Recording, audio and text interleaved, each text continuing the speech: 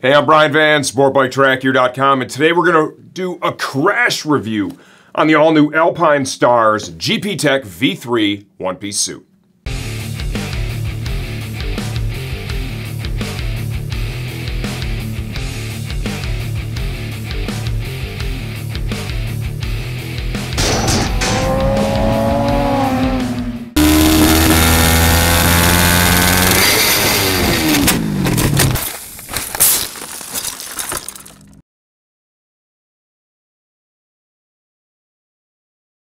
Okay, well, there you go. You saw the crash. That was a pretty good one, right? Unfortunately, that was our first riding day of the year. It was the last lap of the last session on the first day. The kid was out there on his R3. He was putting down some pretty nice lap times, especially for a track day. They were faster than what he rode when he raced with Wera at the GNF.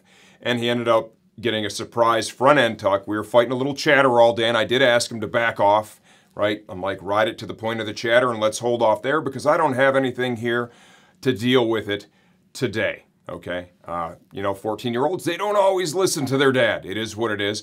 And he had himself a pretty big crash. New year, the kid had on a new suit, new helmet, new boots, new gloves, the whole nine. The kid grew a whole bunch. He's like 5'9 now, 150 some pounds. Last year, we had him in the Alpinestars missile suit. That suit is the entry level Tech Air compatible suit from Alpinestars.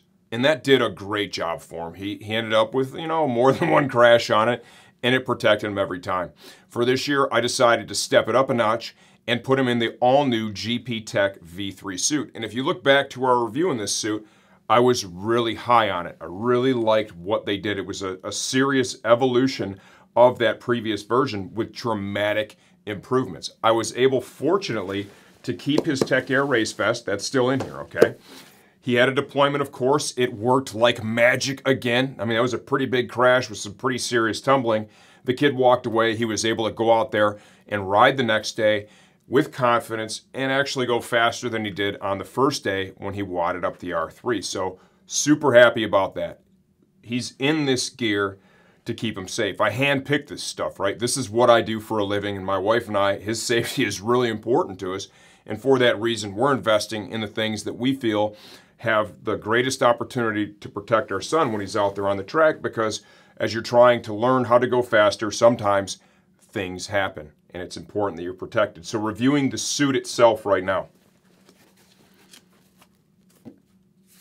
Heavy abrasion here on the arm. Barber's a very wide track. It's 45 feet wide everywhere. So when he lost it right there at the apex of the final corner coming out of the straightaway, I happened to be getting a video on the phone. We showed you that.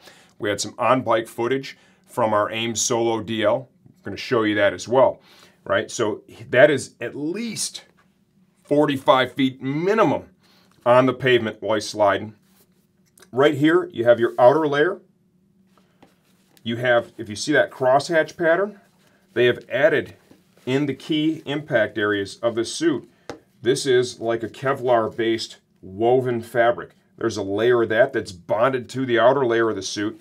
And then here in this particular area, in the form of the suit, this is, right, a lot of impact and abrasion right here on low side crashes and even high sides is going to happen in this area.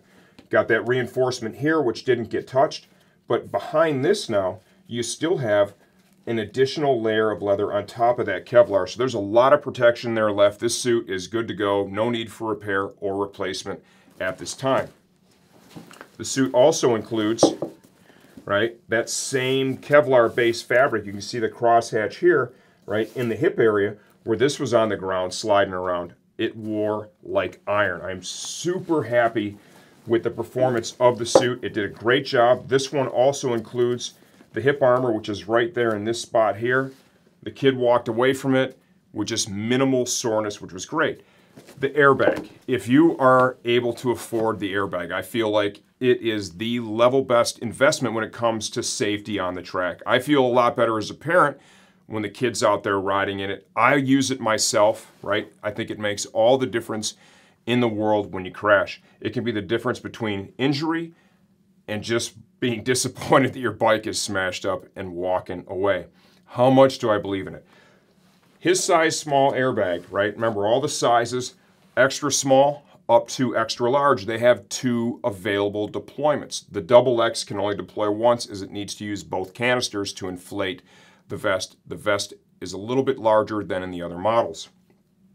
So now he has one deployment left. For example, this weekend we're going for our, our first race weekend of the year, right? I can't believe I'm saying that, and it's June, right? It's gonna be middle of June at Nelson Ledges with Wera. We're really excited. So now that leaves me with the decision. Do I send this thing out for repair and repack while there's still one charge in it so we can have two available? I feel like if you're crossing over two airbag deployments in a weekend, maybe you need to pump the brakes and take a breath. And maybe you shouldn't be going back out. But let's face it, things can happen. You can have a simple, tiny little low side. You can get bumped off the track by another rider, not even really your mistake. Next thing you know, you have a deployment. And then I would have to make the decision, do I choose to put him out there without an available airbag deployment or not? So what I've decided to do is invest a little further. And please understand, I don't get these for free. Nobody's sending me these because we sell stuff and we do these videos.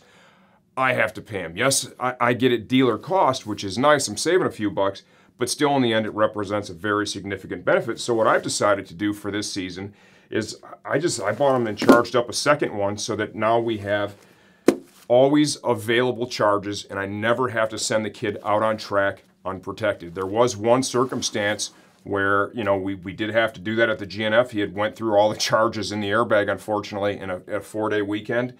There was some rain involved too, which really complicates the situation and there was one crash that happened without an airbag, you know, and I thought about that when he was out there. Reality is a lot of people ride and crash without it, and I've ridden, ridden and crashed without it plenty of times, gotten hurt, and I've gotten lucky. So moving forward, a little additional investment buys me a bigger peace of mind, and that is exactly how much I believe in that technology. Any questions, leave those in the comments section of this video. The Tech Air system, right, especially the Tech Air race, I have a lot of experience with it right? Max has now a total of four deployments. The kid has a lot of experience and he'd be happy to talk to you about how great of a job it's done for him.